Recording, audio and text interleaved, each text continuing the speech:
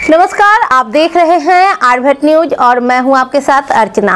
इस वक्त हम भोजपुर ज़िले के खेसरहिया पंचायत के मोहकमपुर ग्राम में मौजूद हैं।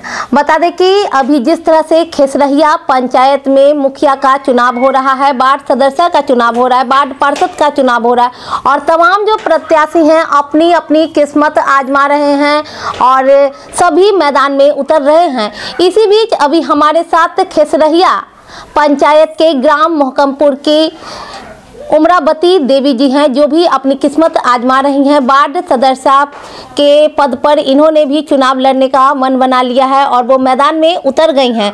तो उनके बेहतर भविष्य के लिए उज्जवल भविष्य के लिए हमारा आरभट न्यूज़ उन्हें ढेर सारी शुभकामनाएँ देता है। आपका धन्यवाद बोलते हैं। तो जैसा कि आपने तो मन बना लिया है इस बार चुनाव में खड़े होने का तो गाँव में सबसे पहले देखा जाता है कि सबसे ज़्यादा शिक्षा की समस्या होती है विद्यालय की समस्या होती है और विद्यालय अगर होता भी है तो वहाँ शिक्षकों की काफ़ी अभाव होती है। तो उस परिस्थिति में जैसे विद्यालय के जो हैं, रूम भी बहुत कम होते हैं, काफ़ी पढ़ाई में मतलब कि बच्चों को काफ़ी दिक्कत आती है। तो सबसे पहले आप क्या कीजिएगा, उसको कैसे सही करवाइएगा? उसको हम अथी बच्चे सब का बोलेंगे मुखिया के पास जाएँगे। मुखिया से बोलेंगे कि इस स्कूल में मास्टर का टीचर का कमी है। सरकार के पास बोलिए कि मास्टर स्कूल में शिक्षा नहीं अच्छा पढ़ाई हो रहा है बच्चा सब का बच्चा सब का अच्छा पढ़ाई होना चाहिए। सब बच्चा सब हम लोग का भी पढ़ता है। सब बच्चा सब आकर बोलता है कि मम्मी पढ़ाई नहीं होता है मास्टर नहीं है कमी है मास्टर के मास्टर के। तो हम उसे बोलेंगे मुखिया से कि मुखिया जी आप बताइए जाके सरकार के पास कि इस गाँव में स्कूल में टीचर चाहिए, मास्टर चाहिए पढ़ाने के लिए। बच्चा सब का भविष्य बिगड़ रहा है। अच्छा से मास्टर लाइए। बोलेंगे हम सब।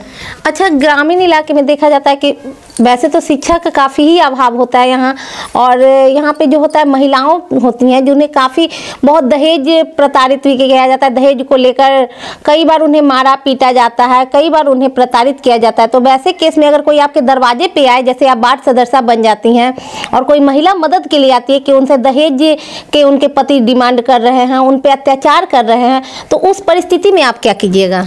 हम जाएँगे मुखिया के पास सब अथी से लेडीज़ को लेकर बोलेंगे कि चलो सब मुखिया से अथी बोलेंगे।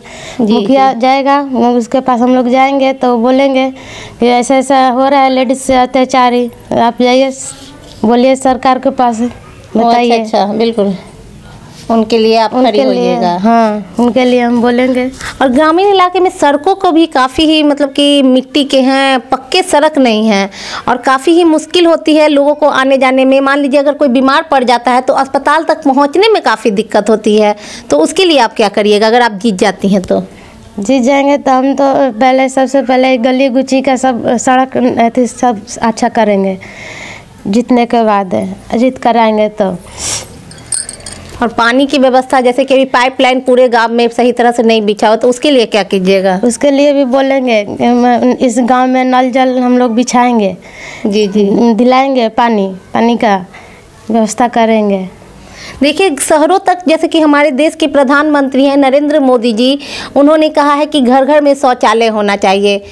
लगभग शहरों में तो प्रत्येक घर में शौचालय की व्यवस्था है पर ग्रामीण इलाके में आज भी लोग शौच के लिए गाँव में, खेतों में जाते हैं और उस स्थिति में काफ़ी महिलाओं को भी काफ़ी दिक्कतें होती हैं। कभी कई बार वो कई प्रकार के शिकार होती हैं, कई सामना, मुसीबतों का सामना करना पड़ता है। तो आप लोगों को किस तरह से अवेयर कीजिएगा, किस तरह से समझाइएगा कि अपने घर में शौचालय बनवाइए, किस तरह से उसके लिए आप शौचालय घर घर में बनवाने के लिए क्या करिएगा?